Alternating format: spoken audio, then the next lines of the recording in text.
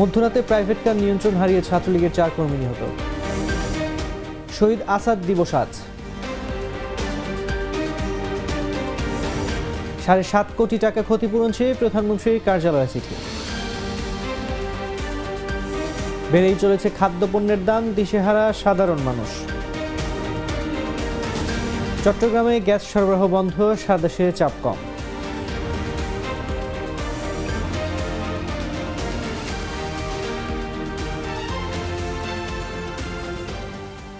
শুনছিলেন এতক্ষণ সংবাদ শিরোনাম।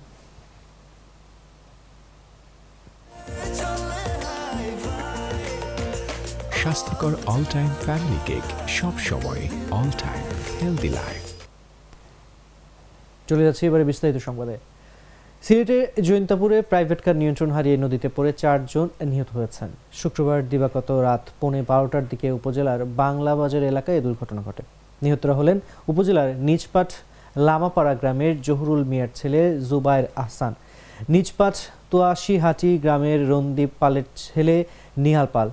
নিজপাট পানিহারা হাটি গ্রামের আরজু মিয়ার ছেলে মেহেদি হোসেন তমাল ও নিজপাট জাঙ্গাল হাটি গ্রামের হারুন মিয়ার ছেলে সুমন আহমদ। নিহতরা সবাই জৈন্তাপুর উপজেলা ছাত্রলীগের কর্মী বলে জানা গেছে। এদিকে এ ঘটনায় জৈন্তাপুর উপজেলার স্বাস্থ্য কমপ্লেক্সে ভাঙচুর করেছে ছাত্রলীগ নেতাকর্মী ও স্থানীয়রা। স্থানীয় সূত্রে জানা যায়, শুক্রবার দিবাগত রাত এগারোটা পঁয়তাল্লিশ মিনিটের সময় জৈন্তাপুর থেকে প্রাইভেট কার নিয়ে জাফলংয়ে যাচ্ছিলেন উপজেলা ছাত্রলীগের চার কর্মী। চার নম্বর বাংলাবাজার এলাকায় পৌঁছালে তাদের প্রাইভেট কার নিয়ন্ত্রণ হারিয়ে ব্রিজের নিচে পড়ে যায়।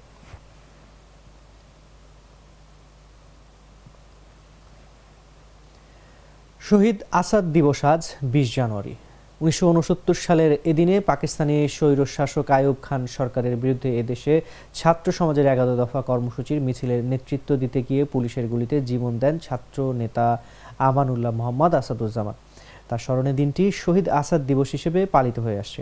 শহীদ আসাদ পূর্ব পাকিস্তান ছাত্র ইউনিয়নের নেতা ছিলেন। পুলিশের গুলিতে নিহত হওয়ার সময় তিনি ঢাকা বিশ্ববিদ্যালয়ের ইতিহাস বিভাগের মাস্টার্সের ছাত্র ছিলেন।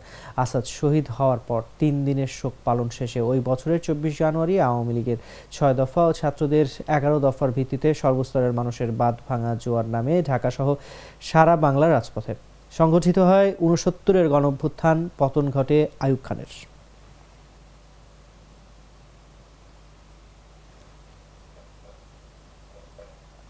জাতীয় সংসদ নির্বাচন কেন্দ্র করে গত আঠাশ অক্টোবর থেকে দু মাসের বেশি সময় হরতাল অবরোধ কর্মসূচির মধ্যে দিয়ে গেছে বিএনপি ও সমমনা দলগুলো। হরতাল অবরোধেরও গণপরিবহন চলাচল স্বাভাবিক রাখতে সচেষ্ট ছিল মালিক সমিতি। পরিবহন চলায় দুর্বৃত্তরা এ সময় কয়েকশো গাড়িতে আগুন ও ভাঙচুর করে। সেসব ঘটনার ক্ষয়ক্ষতির পরিমাণ নির্ধারণ করে সাহায্যার্থে প্রধানমন্ত্রীর কার্যালয়ে চিঠি পাঠিয়েছে মালিক সমিতি। পরিবহন মালিক শ্রমিকদের দাবি, গত আঠাশ অক্টোবর থেকে সাত জানুয়ারি পর্যন্ত হরতাল অবরোধে ঢাকা সহ সারা দেশে পাঁচ শতাধিক বাস ট্রাকে অগ্নিসংযোগ ভাঙচুর করেছে দুর্বৃত্তরা। এতে আনুমানিক ক্ষতি হয়েছে সাতচল্লিশ কোটি পঁচানব্বই লাখ টাকা। এই সময় ঢাকা ও ঢাকার বাইরে বিভিন্ন জেলায় গণপরিবহন ও ট্রাক কাভার্ড ভ্যান, কম চলায় পরিবহন খাতে ক্ষতি হয়েছে সতেরো হাজার কোটি টাকার বেশি। গত একত্রিশ ডিসেম্বর পর্যন্ত ক্ষতিগ্রস্ত গাড়ির ক্ষতিপূরণ পাওয়ার জন্য বাংলাদেশ সড়ক পরিবহন মালিক সমিতি কার্যালয়ে আবেদন করেছেন। দুইশো পনেরোটি গাড়ির মালিক। তাদের দাবি অনুযায়ী এই গাড়িগুলোর আর্থিক ক্ষতির পরিমাণ ষোলো কোটি বিয়াল্লিশ লাখ নিরানব্বই হাজার নয়শো পঁয়ত্রিশ টাকা। যদিও মালিক সমিতির পক্ষ থেকে যাচাই বাছাই করে সাত কোটি চুয়াল্লিশ লাখ টাকা উনিশ হাজার পাঁচশো টাকা নির্ধারণ করা হয়েছে।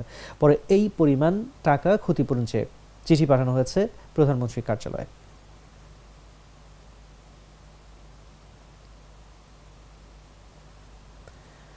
চট্টগ্রামের বীরসরে ভরা মৌসুমেও প্রতি বস্তা চালে দুশো থেকে দুশো পঞ্চাশ টাকা বেড়েছে। বেড়েছে সব ধরনের খাদ্যপণ্যের দাম। নির্বাচনের পর থেকেই দাম ক্রমাগত বাড়ছে। এছাড়া ডাল, মশলা, আটা, ময়দা, ডিম চিনি সহ বেশিরভাগ খাদ্যপণ্যের দাম বেড়েছে। আর মাছ মাংসের বাজার যেন আগুন। এমন অস্বাভাবিক দামে পরিবারের সদস্যদের খাবার জোগাতে হিমশিম খাচ্ছে সাধারণ মানুষ। খোঁজ নিয়ে জানা গেছে, সাত জানুয়ারি নির্বাচনের পর থেকে সব ধরনের চালের দাম বেড়ে চলেছে। নিম্নমানের সিদ্ধ চাল পঞ্চাশ কেজির বস্তা বিক্রি হচ্ছে পঁচিশশো টাকা। আর মাঝারি মানের সিদ্ধ চাল বস্তা প্রতি বিক্রি হচ্ছে পঁয়ত্রিশশো টাকা। মাঝারি মানের হাফ সিদ্ধ পঞ্চাশ কেজির বস্তা বিক্রি হচ্ছে উনচল্লিশশো টাকা। মাঝারি মানের কাটারি ভোগ আতপ চালের পঞ্চাশ কেজির বস্তা বিক্রি হচ্ছে সাঁত্রিশশো টাকা থেকে বিয়াল্লিশশো টাকা পর্যন্ত। নিম্নমানের পঞ্চাশ কেজির আতপ চাল বিক্রি হচ্ছে পঁচিশশো টাকা বস্তা। বাজার ঘুরে দেখা গেছে, গত এগারো দিনে সব ধরনের ডালের দাম বেড়েছে পনেরো থেকে বিশ টাকা পর্যন্ত। এর মধ্যে মুগ ডালের দাম বেড়েছে কেজি প্রতি তিরিশ টাকা।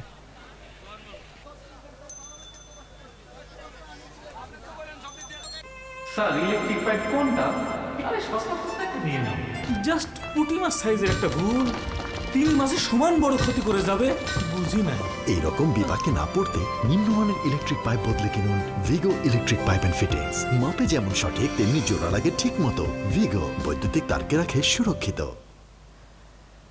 কক্সবাজারের মহেশখালীতে অবস্থিত এলএনজি টার্মিনালে কারিগরি ছুটির কারণে চট্টগ্রাম এলাকায় শুক্রবার সকাল থেকে গ্যাস সরবরাহ সাময়িকভাবে বন্ধ রয়েছে। দেশের অন্যান্য এলাকায় শীতের কারণে গ্যাসের স্বল্প চাপ বিরাজ করছে।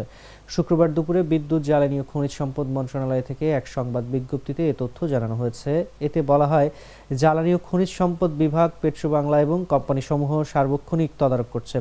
বিষয়টি গুরুত্বের সঙ্গে অতি দ্রুত মেরামতের লক্ষ্যে কাজ করছে মন্ত্রণালয়। দেশীয় গ্যাস উৎপাদন ও সরবরাহ অব্যাহত রয়েছে। গ্রাহকদের সাময়িক অসুবিধার জন্য বিদ্যুৎ, জ্বালানি ও খনিজ সম্পদ মন্ত্রণালয় দুঃখ প্রকাশ করেছে বলেও জানানো হয় বিজ্ঞপ্তিতে।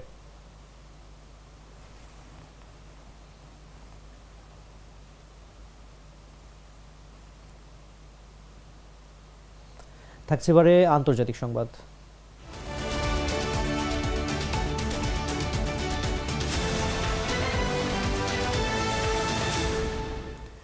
গাজায় প্রতি ঘন্টায় দুজন মায়ের মৃত্যু হচ্ছে বলে জানিয়েছে জাতিসংঘের নারী বিষয়ক সংস্থা। সংখ্যাটির এক প্রতিবেদনে জানানো হয়েছে গাজা ইসরায়েলি আগ্রাসনে সবচেয়ে বেশি প্রাণ হারাচ্ছে নারী এবং শিশুরা। এখন পর্যন্ত সেখানে প্রায় ষোলো হাজার নারী ও শিশু নিহত হয়েছে। সংস্থাটি বলছে, গাজার সংখ্যাতে প্রতি ঘন্টায় প্রায় দুই জনের মায়ের মৃত্যু হচ্ছে। গত সাত অক্টোবর ইসরায়েল এবং হামাসের মধ্যকার সংঘাত শুরুর পর থেকে গাজায় নিহতের সংখ্যা সত্তর শতাংশই নারী এবং কন্যা শিশু। এছাড়া যুদ্ধের শুরু থেকে এখন পর্যন্ত দশ হাজার শিশু নিজেদের বাবাকে হারিয়েছে। অপরদিকে বাস্তুচ্যুতদের মধ্যে দশ লাখই নারী এবং কন্যা শিশু। জাতিসংঘের নারী বিষয়ক সংস্থা জানিয়েছে, নারী এবং কন্যা শিশুরা নিরাপত্তা, স্বাস্থ্যসেবা এবং আশ্রয় থেকে বঞ্চিত হচ্ছে। আসন্ন অনাহার এবং দুর্ভিক্ষের মুখোমুখি হচ্ছে তারা। গত সাত অক্টোবর ইসরায়েলের সীমান্তে প্রবেশ করে আকস্মিক হামলা চালায় ফিলিস্তিনি স্বাধীনতাকামী সংগঠন হামাস। এরপরে এই গাজায় পাল্টা আক্রমণ শুরু করে ইসরায়েল। তিন মাসের বেশি সময় ধরে গাজায় অভিযানের নামে নিরীহ ফিলিস্তিনিদের হত্যা করা হচ্ছে।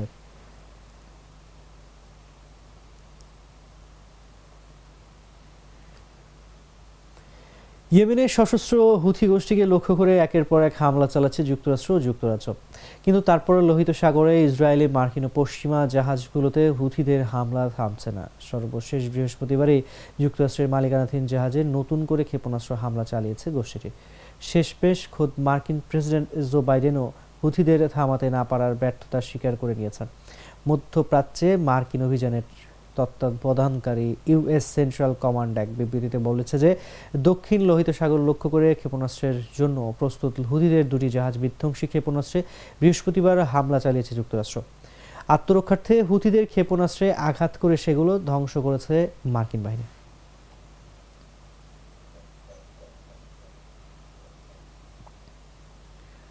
থাকছে এবারে খেলা সংবাদ।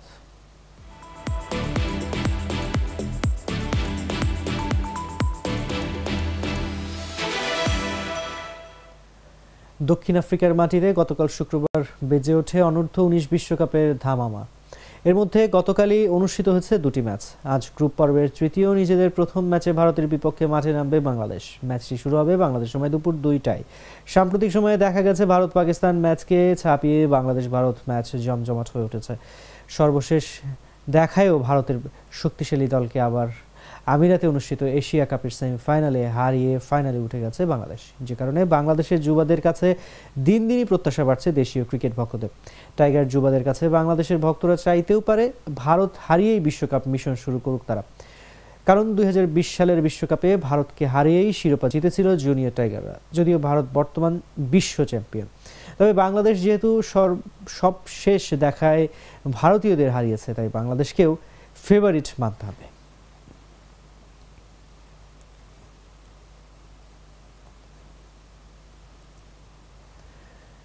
দর্শক ছিল এখনকার মতো। ততক্ষণ সঙ্গে থাকার জন্য ধন্যবাদ সবাইকে।